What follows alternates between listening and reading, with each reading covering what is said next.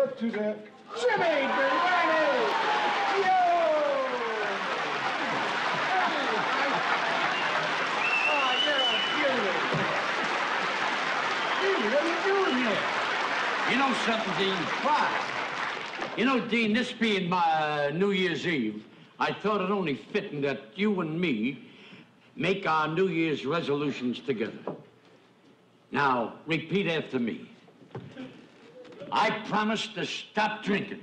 I promise to stop drinking. I promise to stop smoking. I promise to stop smoking. I promise to stop chasing women. I promise to stop chasing women. Okay, Dean, let's go out and celebrate. The booze and the girls are waiting in the car. But, Jimmy, what about our New Year's resolution? Oh, that ain't for, that ain't for New Year's 1971. It's for New Year's 1991. but then it won't be a resolution. It'll be a necessity. Yeah.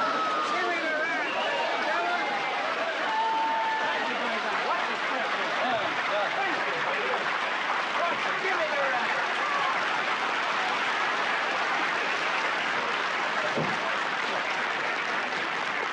I was at a New Year's party with Jimmy last year. He blew a horn for 10 minutes before he found out it was his nose.